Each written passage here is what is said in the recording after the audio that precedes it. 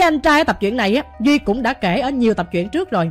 Ảnh gửi khá là nhiều câu chuyện. Ở cái tập truyện 234 với lại tập truyện 277 nói chung, cái cuộc đời của anh trai này á, rất đặc biệt. Tại vì ảnh sanh vào một cái giờ rất là linh, vào đúng 12 giờ trưa và ảnh chết 3 lần. Duy kể tập truyện 277 là cái tập truyện 3 lần chết của ảnh đó. Chính vì như vậy mà con người của ảnh rất tâm linh. Ảnh là một cái người có căn rất là mạnh. Tại vì ảnh được rất là nhiều người trong dòng họ của ảnh đi theo độ luôn. Mà những người này có liên quan tới tập truyện 234 mà Duy đã từng kể. Rõ hơn, thì Duy sẽ kể trong tập truyện ngày hôm nay của ảnh. Như Duy đã từng kể, thì quê của anh này ở Hà Tiên, Kiên Giang. Và cái công việc hiện tại của anh là một kỹ sư chuyên về đóng tàu, đóng thuyền này nọ cho người ta đó mọi người. Thành ra là cái câu chuyện này cũng bắt nguồn từ cái nghề nghiệp của anh luôn.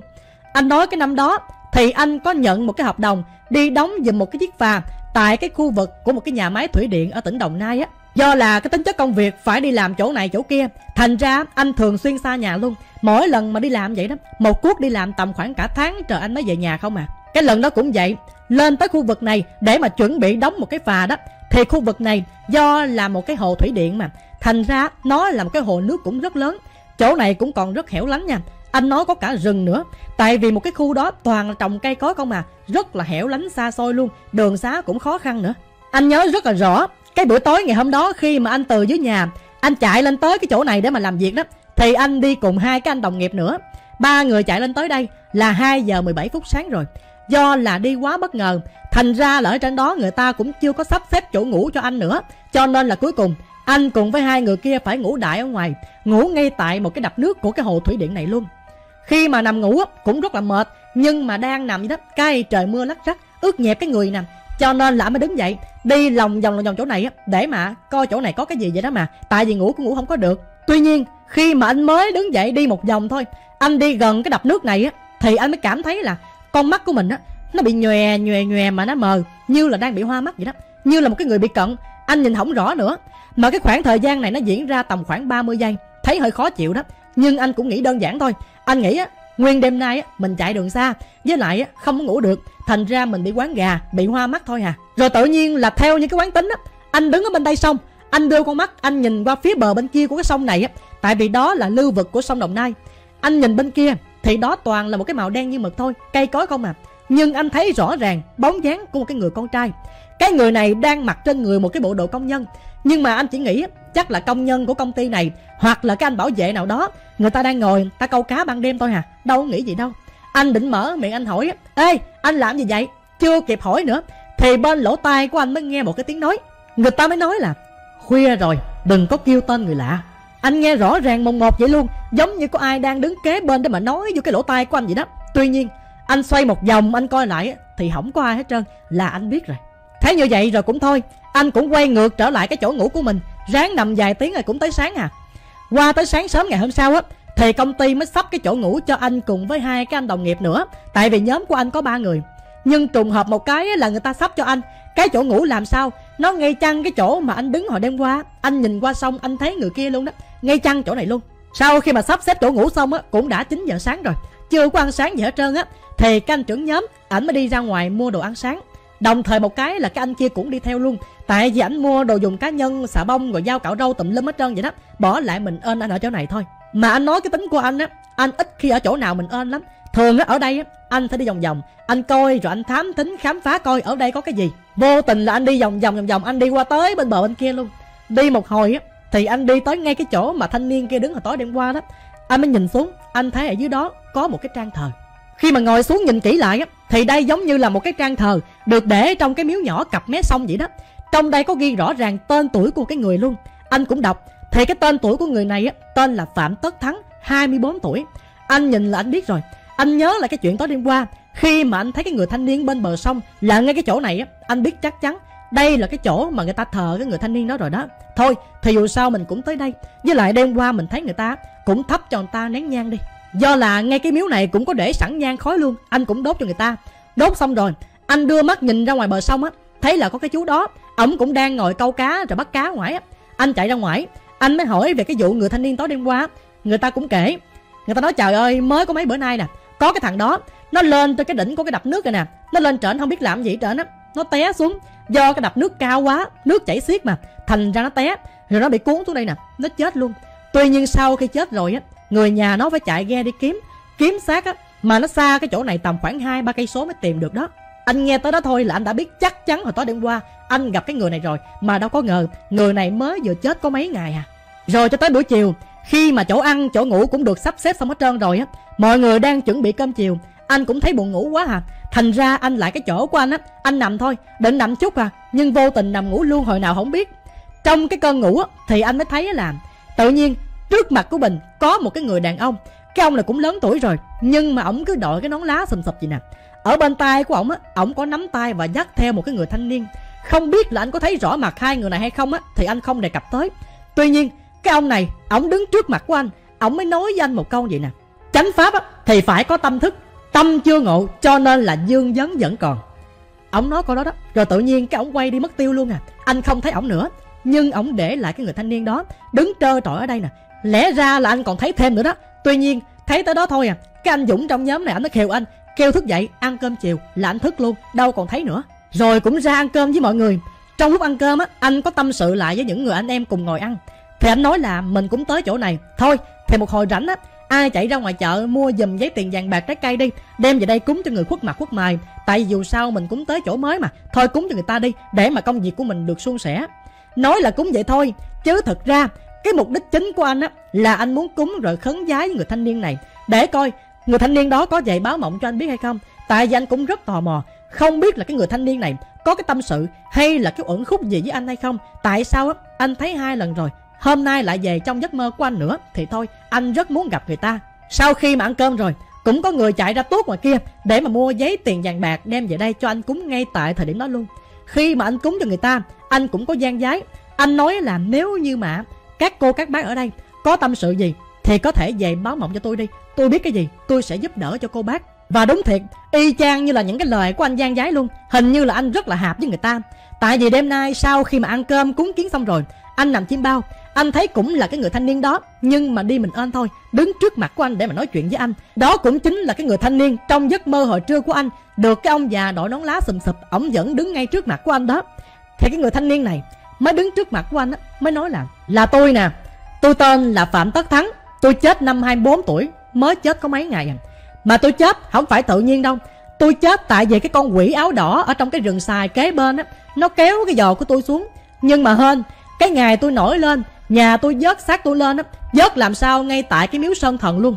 Mà cái miếu này ngay trước cổng chùa, thành ra tôi được người ta giúp đỡ, không có bị nó sai khiến đó anh thì trong cái giấc mơ, anh cũng khôn. Anh nói chuyện lại với người thanh niên này luôn. Anh hỏi vậy chứ có đói bụng không? Có cần tôi giúp cái gì hay không thì cứ nói đi. Nếu mà trong khả năng của tôi á, tôi làm gì được cho anh, tôi giúp đỡ anh liền. Nhưng mà người này mới nói là, không, tôi không có dám tới gần anh. Tại vì tôi thấy phía sau lưng của anh á, có hai cái ông nào á, lớn lắm, tôi không có dám lại gần. Anh biết rồi. Thành ra anh mới nói là vậy thôi. Qua ngày hôm sau tôi ăn cơm á, tôi cúng cho anh cơm trắng với lại rau luộc nha. Rồi trước khi ngủ, tôi mở kinh địa tạng với lại kinh giải thoát rồi tôi mở cho anh nghe, để mà đợi ngày sớm đi đầu thai chịu không? Anh cũng gật đầu luôn, không nói gì hết, rồi lui đi mất tiêu luôn à. Anh nói thì tổng cái thời gian anh ăn ở ở cái chỗ này để mà đóng thành một cái chiếc phà là tầm khoảng 24 ngày. Tuy nhiên, tới khoảng ngày 21 á, là lúc đó cái chiếc phà của anh đã đóng gần hoàn thành rồi. Thành ra tới cái giai đoạn này, có một cái đội công nhân khác. Cái đội đó là cái đội sơn. Tại vì sau khi làm xong cái phần khung này nọ hết trơn rồi á, người ta sẽ sơn để mà hoàn thành luôn cái chiếc phà này đó cái đội sơn đó cũng gồm rất là nhiều người. Khi mà đi tới chỗ này á, thì anh cũng gần xong công việc của mình rồi. Cho nên là thấy người ta chưa có chỗ ngủ. Anh mới nhường lại cái chỗ ngủ của anh á, cho những cái người bên đội sơn này người ta ngủ. Còn riêng anh anh sẽ xuống cái phà này anh ngủ. Tại vì thời điểm đó cái phà cũng làm xong rồi, xuống đó ngủ.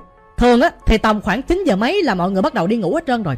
Tại vì cái chỗ này á, nó tối đen như mực. Nói chung nó là rừng rồi đó, rất là tối luôn. Cho nên tranh thủ ngủ sớm, rồi qua ngày hôm sau á, đi làm nữa đêm đó thì anh cũng xuống phà anh ngủ. Trong khi đó thì trong cái chỗ của anh á, có cái người công nhân bên đội sơn ta ngủ rồi. Anh đang vừa nằm thiêu thiểu thôi, chưa vô cái giấc ngủ nữa. Thì giống như là có ai đang đứng trên cái đầu giỏng của anh á, người ta giật giật cả hãy cả hãy cái giỏng gì nè. Giống như có ai đang cầm cái giỏng không mà người ta vũ vậy đó, anh chịu không nổi. Thành ra anh mới ngồi dậy. Đồng thời lúc này, anh mới nghe ở dưới cái đội sơn là cái chỗ ngủ cũ của anh đó. Người ta la làng quá trời luôn. Anh chạy xuống anh coi thì người ta mới nói là, trời ơi, tao đang nằm ngủ. Mà có đứa nào á nó đuổi tao xuống. Nó nói, cái chỗ này của tao. Dậy mày, đi chỗ khác ngủ mày. Giật dò tao hoài, không cho tao ngủ mày ơi. Thôi, tao xuống phà tao ngủ chung với mày. Cái anh đó ảnh nói tới đây thôi á, Là anh đã biết ảnh đã bị ai đuổi rồi. Chính là người thanh niên đã đuổi chứ ai. Thế như vậy á, Thì anh mới la lớn tiếng luôn. Anh nói, tôi ở đây nè. Có nghĩa là cho người ta biết rằng, tôi ngủ ở đây, rồi tôi nhường cái chỗ tôi lại cho người ta ngủ á. Thôi, đừng có quậy người ta. Tại vì anh cũng biết á là, chỉ có riêng anh mới hạp với dông này thôi. Người lạ do ngủ là bị đuổi liền. Vậy đó mới im chuyện rồi sau đó anh cũng lên phà anh ngủ tiếp. Trong giấc ngủ thì anh mới nằm mơ. Anh mới thấy là phía bên kia sông là cái chỗ cái miếu ghi tên của người thanh niên đó đó. Tự nhiên có ba người, trong đó có một cái người thầy tu nè, một cái cặp vợ chồng, nhìn là biết người ta vợ chồng luôn. Đi tới đó, rồi ngồi xuống đọc kinh, đọc chú gì đó cả buổi trời luôn, rồi người ta đi luôn. Thế là giấc mơ của anh kết thúc. Rồi anh nằm ngủ tiếp, cho tới tầm khoảng hai, ba giờ sáng gì đó, anh nhớ không có rõ. Tự nhiên lúc này có rất là nhiều nước, nó chảy từ ở trên cao là ở trên cái đập nước á, nó chảy xuống rất là nhiều. Thành ra khi nó chảy một cái dung lượng lớn vậy đó, nó đập vô cái chiếc phà này của anh, nó làm một cái rầm gì nè, cái phà của anh trao đảo luôn. Chính vì như vậy mà anh ngủ không có được. Anh mới đi ra ngoài anh coi thử cái gì. Anh nhìn ra ngoài hướng cái đập nước á, thì anh thấy là cái người thanh niên đó nữa, đang đứng ở đó mà đưa cái tay chào anh vậy nè. Dễ dễ chào giống như là chuẩn bị chia tay vậy đó. Chào xong rồi biến mất tiêu. Mà biến không có biến nhanh đâu nha, tan thành một cái làn khói luôn, rồi mất tiêu vậy đó thấy cũng bình thường. Thành ra anh vô nằm ngủ tiếp, không có gì lạ cả. Qua tới sáng ngày hôm sau đang lúc làm việc đó, anh nhìn qua phía bên cái miếu đối diện bên sông này nè. Anh thấy bên đó là cảnh tượng, y chang cảnh tượng trong giấc mơ đêm qua của anh luôn. Chính là cái người thầy tu đó, một cái cặp vợ chồng đó, ra ngoài cái miếu để mà đọc kinh cầu hồn gì đó. Hỏi ra thì mới biết, đó chính là gia đình của cái thanh niên này đang nhờ thầy tụng tới để mà đưa hồn của anh về nhà. Tại vì anh mới chết có mấy ngày thôi à. Y chang cảnh tượng hồi tối luôn rồi cái ngày làm việc hôm đó cũng kết thúc. Qua tới sáng ngày hôm sau thì cũng như thường lệ thôi. Thường á, thì anh sẽ cúng cơm trắng, cúng rau luộc cho người ta. Trước khi ngủ sẽ mở kinh địa tạng, kinh giải thoát cho cái dòng nam này người ta nghe, để mà được sớm ngày đi đầu thai. Mà anh nói lạ một chỗ, kể từ cái ngày anh có duyên gặp được cái dòng nam này á, thì anh cảm thấy là cái không gian ở khu vực này hầu như lúc nào nó cũng lạnh lẽo hết trơn á. Trong khi á ban ngày cũng rất nắng nha, nhưng lúc nào nó cũng lạnh lạnh kiểu gì rất là lạ luôn. Tuy nhiên tới ngày hôm nay thì anh cảm nhận là cái không gian nó ấm cúng trở lại nó không còn lạnh lẽo nữa. Rất là lạ. Đó chính là đêm nay anh gặp thêm một cái giấc mơ nữa. Trong giấc mơ này á, thì anh cũng thấy cái ông già đội nón lá ngày hôm trước cũng dắt theo người thanh niên đó luôn. Nhưng người thanh niên đó ngày hôm nay mặc cái áo lam của những người phật tử á mặc rồi nắm cái tay của ông già đi trước mặt của anh vậy nè. Sau đó thì cái ông già mới mở miệng nói với anh nó làm hai ngày nữa ở cái chỗ này có sạt lở đất nha. Chạy lên trên núi mà trốn. Nói xong rồi ông cũng quay lưng ông đi. Nhưng cái người thanh niên đó còn đứng ở lại. Người ta mới nói là, cảm ơn nhiều dữ lắm nha. Cũng nhờ anh á, mà bây giờ tôi đủ phước, tôi đi theo thầy để mà tôi đi tu học, tu quy ẩn ở trong núi này luôn. Chính vì cái giấc mơ này mà sau khi thức dậy, anh cũng đã biết được rằng cái người thanh niên đó người ta đã đủ duyên. Bây giờ người ta đã đi tu học theo thầy người ta rồi.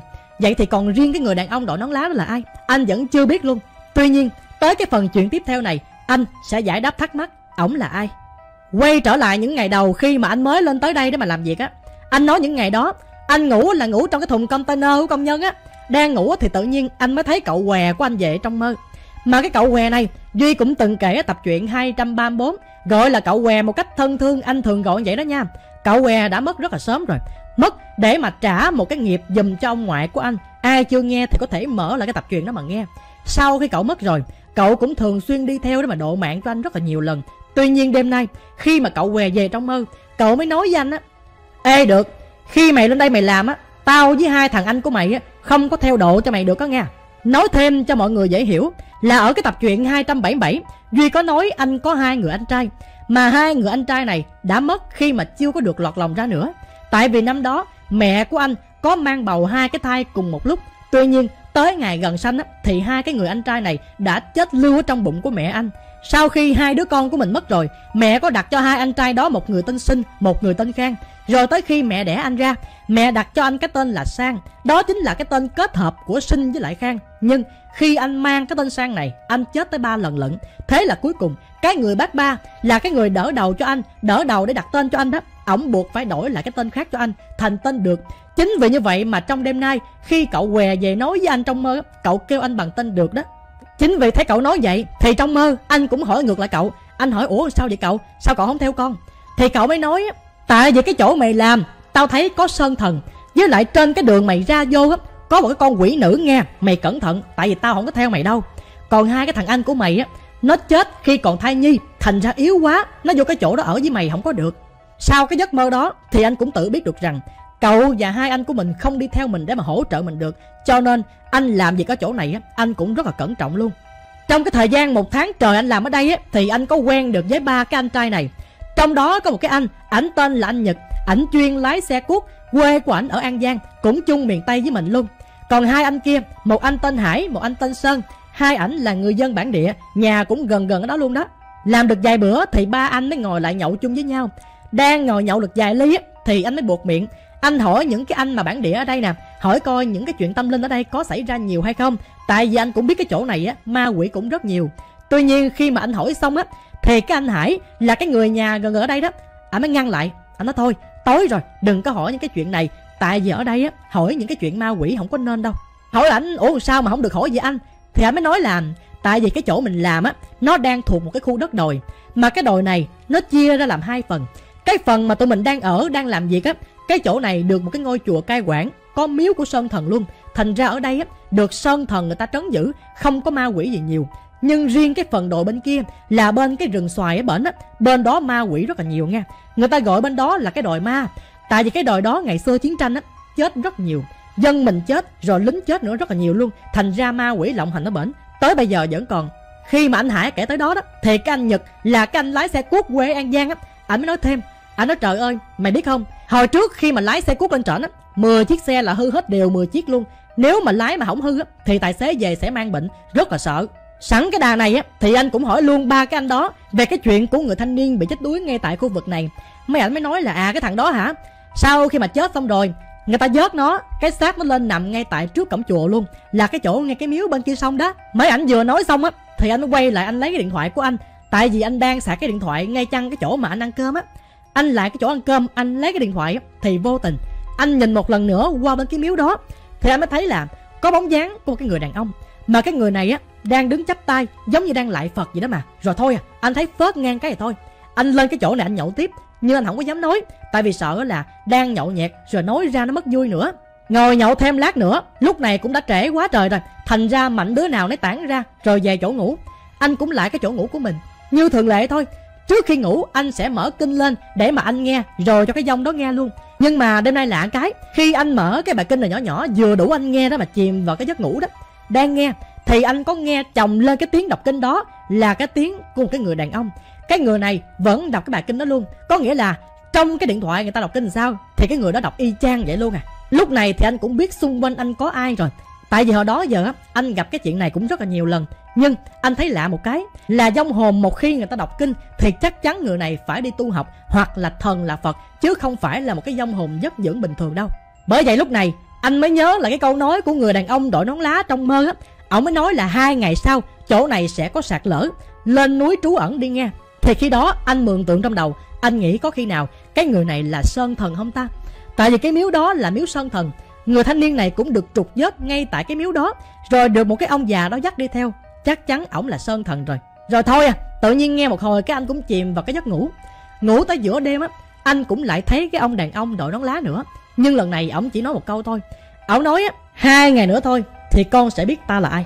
Rồi thôi, Qua ngày hôm sau, Anh cũng làm việc như bình thường. Cái gì tới thì nó sẽ tới. Đúng thiệt luôn. Đúng hai ngày sau Thì ngày hôm đó, Ở bên những cái anh lính công binh á mấy anh này có đặt những cái thuốc nổ, những cái mìn á, để mà đặt ở đây cho nó nổ, để mà người ta phá, mở rộng cái đường thoát nước cho cái cống nước này. Nhưng xui một cái là trước khi họ làm á, tự nhiên cúp điện. Thành ra cái công chuyện này của họ phải dừng lại. Chính vì như vậy mà tụi anh không có làm tiếp nữa, phải dừng lại. Rồi dừng lại biết làm gì đâu. Thôi bài đồ ra nhậu. Nhậu tầm khoảng hai, ba giờ chiều gì đó thì mấy cái anh công binh này, anh nói là có điện trở lại rồi. Thôi, bây giờ mọi người sơ tán, lên trên cao á, trú ẩn đi. Còn ở đây người ta bắt buộc phải làm những cái miệng này cho nó nổ để người ta phá cái đường ra. Khi mà anh lên tới cái chỗ an toàn rồi, anh nhìn xuống thì mới thấy là những cái anh lính công binh á, người ta kích nổ nổ một cái in gì nè. Anh thấy cảnh tượng đó, y chang sạt lở đất luôn. Tại vì á, đất đá nó bể ra, nó tràn xuống đường nè. Y chang như lời của người đàn ông đội nón lá nói trong hai ngày trước vậy đó. Anh nhớ thì cái chỗ mà anh trú ẩn, cái chỗ đó là một cái giường điều. Xung quanh toàn là cây điều gốc bự bự không à cây điều lộn hột đó. Thành ra sau khi mà trú ẩn xong rồi người ta kích nổ xong hết trơn rồi đó. Người ta yêu cầu đi xuống làm việc bình thường đi. Anh cũng bắt đầu đi về. Trên đường về á, thì anh định là ngồi xuống. Anh lượm mấy cái hột điều nó rụng đó, đem về nhà đó mà nướng ăn. Lượm một hồi cũng đựng túi gì nè. Anh đi về đi về hoài thì chưa thấy đường về. Giống như đang bị lạc vậy đó. Do đó thì không biết anh đi hoài đi hoài mà đi tới đâu nữa. Một hồi á, anh mới thấy là trước mặt của mình có một gốc cây điều. Cái cây này rất là bự luôn, mà trong đó nó có một cái hốc cây gì nè. Đi lại gần á thì nhìn ngay giữa cái hốc cây á, có cái lư hương ở trỏng á. Anh cũng lại gần lại gần anh coi luôn. Anh vừa đưa con mắt nhìn vô cái lư hương á, thì ngay phía sau gốc cây này xuất hiện một cái ông già. Cái ông đó mặc cái áo dài màu trắng như là những cái người tu bên đạo cao đà vậy đó. Bước ra, không nói gì hết. Nhìn mặt anh, cái cười hì hì, cái rồi mất tiêu luôn à rồi kể từ khi ổng biến mất là anh cũng không còn nhớ gì hết trơn. Mở mắt ra mới thấy là mình đang ngồi trong cái chòi làm việc của mình á. Hỏi mọi người, thì cái anh dũng anh kể lại á lúc đó mọi người đi về thì không thấy mày đâu hết trơn. Thành ra mới túa ra đi kiếm mày. Tới khi đi kiếm mày á, thì mới thấy mày đang ngồi mày nhắm mắt ngay tại một gốc cây điều. Mà mày đang ngồi xếp bằng vậy nè, như là cái tướng của phật vậy đó. Mày ngồi đó, lại coi á, thì mới thấy là trong miệng của mày có ba cái chân nhang, ai nhét sẵn ở trong miệng của mày vậy đó. Thấy như vậy thì người ta mới đưa anh về về tới bây giờ mới tỉnh dậy nè. Lúc đó là tỉnh rượu luôn rồi. Thì ra, anh mới biết được, cái người đó không ai khác chính là sơn thần ở khu vực này đó, chứ không phải ai hết. Phần chuyện tiếp theo thì đây là cái cơ duyên anh được gặp gỡ cái người đã gây ra cái chết cho người thanh niên tên là Phạm Tất Thắng 24 tuổi ngay tại cái miếu đó. Không ai khác, chính là một cái con quỷ áo đỏ ở bên cái rừng xoài kế chỗ của anh làm á. Câu chuyện là như vậy. Bữa hôm đó là cái ngày thứ 23 anh làm đây rồi. Trong khi qua ngày 24 á, là anh xong công việc, anh về lại nhà của anh. Thành ra khi mà làm xong hết công chuyện rồi á, anh em cũng tranh thủ làm một cái bữa tiệc để mà chia tay với anh. Nhậu thì nhậu buổi tối, đang nhậu ngon lành mới nhậu được con xíu à, thì tự nhiên hết bia. Trong khi vẫn còn mồi thành ra trong cái trớn nhậu á thì mọi người quyết định đi mua thêm bia đi. Sau đó thì mọi người mới liên lạc cho cái người mà giao cơm cho cái nhóm này á. Nhờ người ta thử coi mua bia giùm đem vô được hay không sau khi điện á, người ta mới nói là ừ mua bia giùm cũng được, nhưng mà người ta chỉ giao bia tới cái rừng xoài thôi nha. Tại vì cái đường nó cũng khó đi, người ta chỉ giao tới đó, rồi mình phải ra ngoài mình lấy, mình đem bia vô mới được nha. Chứ người ta không đưa vô tới chỗ này được đâu. Thôi thì thấy cũng ban đêm ban hôm rồi, nhờ người ta mua vô tới tận chỗ này thì cũng tội nghiệp người ta quá. Cuối cùng, anh cùng với cái anh Nhật là cái anh tài xế lái xe ở An Giang á, cái anh đó sẽ chở anh đi. Hai người cùng nhau đi ra ngoài cái rừng xoài để mà lấy bia đem vô. Trên đường đi á khi mà đi ngang cái rừng xoài này rồi á, mặc dầu anh không thấy cái gì, nhưng mà tự nhiên anh Nhật mới nói với anh á ê khi mà đi ngang chỗ này á, thì nhớ đừng có nói gì nha, niệm Phật đi. Đúng thiệt luôn. Ảnh vừa nói xong thôi á, là anh thấy rất là lạnh người. Lạnh không phải là cái lạnh của gió đang chạy xe đâu, rất là lạnh, như nước đá vậy đó. Mà anh còn nghe đâu đó trong cái khu vực rừng xoài này nè, cái tiếng cười, rồi tiếng nói xí xô xí xào vậy nè, đặc biệt cười rất là nhiều. Cái tiếng cười của người con gái, anh nghe mà anh lạnh thấu xương thấu thịt luôn đó sau khi hai anh em chạy hết cái đường xoài này rồi, ra tới đầu đường á, thì mới gặp cái anh mà mua bia giùm đó. Ảnh mới đưa lại cái đống bia này cho hai người. Khi mà đưa bia, ảnh có kể lại á, trời ơi, hai ông biết không? Hồi tầm khoảng vài tháng trước á, lúc mà tôi đi vô trong đập nước, tôi đi giăng lưới trong ban đêm, mới có 8 giờ mấy à tôi chạy xe vô trỏng. Khi mà tôi đi ngang cái giường xoài nè, thì tôi mới nhìn vô kiến chiếu hậu của tôi á, tôi mới thấy là ở sau cái yên xe của tôi, nó lồi ra một cái bàn tay, mà cái bàn tay nó khô mà nó nhăn nheo lại. Trời ơi cái móng tay nó dài thòn nè, tôi rất sợ, tôi đạp ga tôi chạy thiệt mạnh. Mà khi tôi nhìn kỹ lại á, thì không thấy cái bàn tay đó đâu nữa. Nhưng lúc này, vừa chạy mà tôi nhìn xuống phía sau á, cái mà màu đỏ giống như ai mặc cái đầm vậy đó, nó bay phới phới gì nè. Cái cảnh tượng đó y chang như là tôi đang chở nhỏ gái nào mặc cái bộ đầm đỏ phía sau đó. Trời ơi, tôi quá là sợ đi. Chạy vừa tới đập nước á, tôi sợ tới nỗi mà tôi không có văng lưới, văng mới được hết trơn á. Tôi ở trỏng, tôi điện cho người nhà của tôi đây rước tôi về nè. Về tới nhà rồi mấy ông biết không? Đổ bệnh luôn. Nằm sốt cả tuần lễ, chữa bệnh hoài không hết thành ra ở nhà tôi mới nhờ một cái ông thầy dân tộc á, tới đây làm bệnh giùm cho tôi tôi mới hết á. Trời ơi, bởi vậy, cái vườn xoài ghê dữ lắm nghe. Một hồi về coi chừng á. Khi mà nghe anh đó kể xong á, thì thật sự anh cũng rất là sợ. Mặc dù anh là người tâm linh, anh cũng thấy ma nhiều lần, nhưng có bao giờ anh thấy quỷ đâu.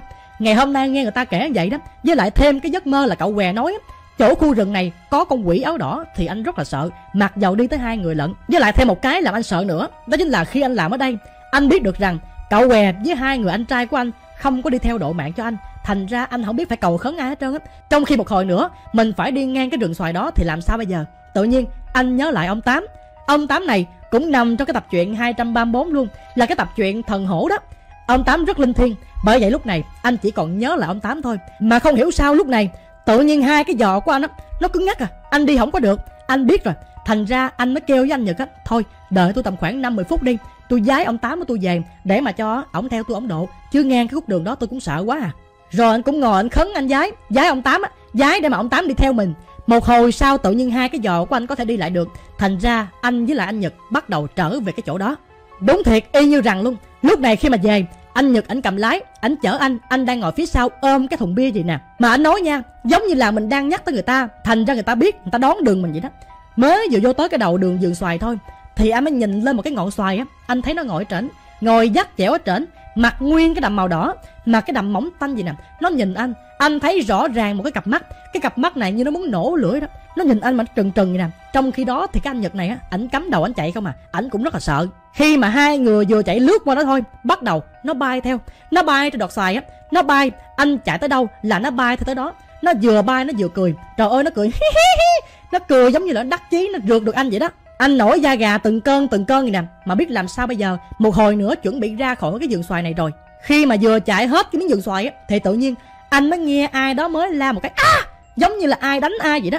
Rồi thôi, hai người cắm đầu cắm cổ chạy thẳng về cái chòi nhậu của mình. Về tới đó, anh mới hỏi danh nhật á, hồi nãy giờ có thấy gì không? Ông nói, trời ơi, lạnh muốn chết luôn. Tao lo tao chạy không mà thấy gì đâu. Nhưng riêng anh á thì anh thấy. Rồi về tới nơi, không hiểu sao hình như là anh sợ hay sao á. Anh ớn, anh không nhậu nữa. Leo lên võng nằm đang nằm thiêu thiểu rồi đó, thì anh mới nghe một cái giọng nói bên lỗ tai của anh. Người ta mới kêu anh á tranh thủ đi về sớm đi, đừng có ở đây nữa. Bởi vậy cũng rất hên cho anh. Cái lần anh gặp kinh dị nhất cũng là cái ngày cuối cùng anh còn ở đây. Đêm đó cũng ráng ngủ. Tới sáng hôm sau á, anh dũng mới hỏi anh là, ủa, tối đêm qua mày ngủ gặp cái gì? Mà mày mới hoài vậy mày. Nhưng anh không có trả lời. Anh sợ mọi người sợ hay sao đó, anh chỉ cười cho qua thôi à. Rồi cũng sắp xếp đồ để quay trở về nhà của mình. Về tới nhà, nhìn đồng hồ đúng 12 giờ trưa luôn và đó cũng đã kết thúc những cái câu chuyện lần này của anh. Bởi vậy, qua câu chuyện này á, anh mới thấy được một cái chân lý, đó chính là dù mình đi đâu, mình làm cái gì, mình có là ai đi chăng nữa, thì cái chuyện âm dương lúc nào nó cũng song hành với nhau hết trơn á. Y như câu chuyện hồi trước của cái anh trai hồi nãy duy mới kể đó, chỗ nào cũng sẽ có người âm. Bởi vậy người ta mới có một câu là âm cảnh dương gian, đồng nhất lý, nghĩa là ở đâu cũng sẽ tồn tại người âm và người dương luôn song hành với nhau hết trơn á. Đừng có phỉ bán người ta. Và nếu mà chúng ta không tin á, thì thôi, để bụng, chứ đừng có nói ra. Người ta biết hết á.